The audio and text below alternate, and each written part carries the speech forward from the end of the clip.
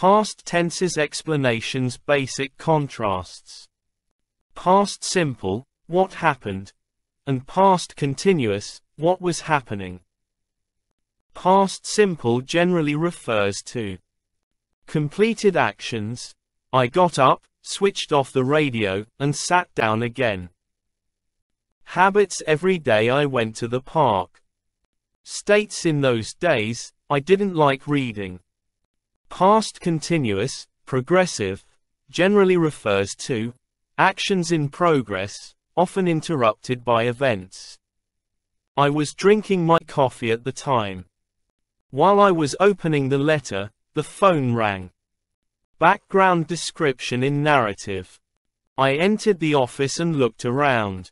Most people were working at their desks, but Jane was staring out of the window and pretending to write something at the same time. Changing states. The car was getting worse all the time. One of the headlights was gradually falling off, and the engine was making more and more funny noises.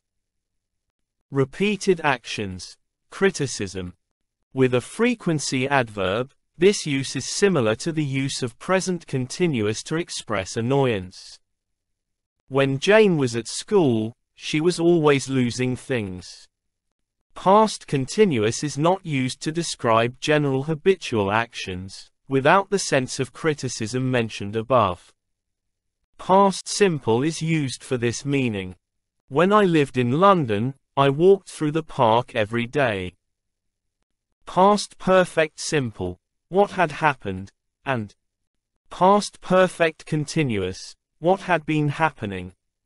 We use the past perfect when we are already talking about the past, and we want to go back to an earlier past time, double past. By the time I got to the station, the train had left. Compare this with, the train left five minutes before I got to the station. When we talk about a sequence of past events in the order that they happened, we more commonly use the past simple, especially with quick, short actions. Past perfect continuous, progressive. The same contrasts between past simple and past continuous, see previous section, can be made in past perfect verb forms for events further back in the past. I had been living in a bed sitter up to then.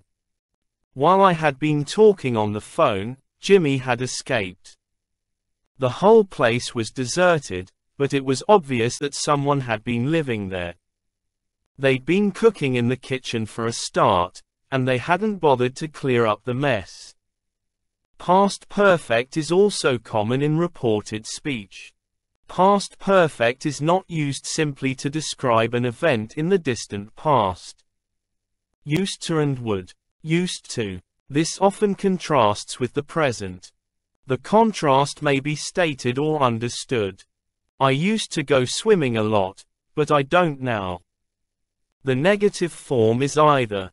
I didn't used to or, used not to, rare for some speakers. Would. This is used to describe repeated actions, not states. It describes a habitual activity which was typical of a person.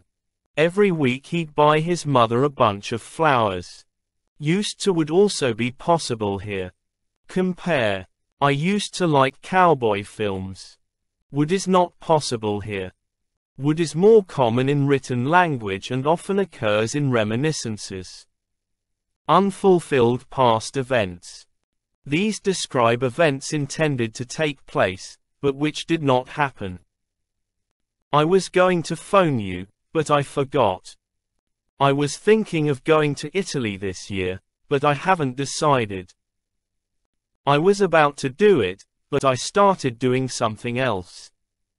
Jack was to have taken part, but he fell ill. The contrasting past event is often understood, but not stated.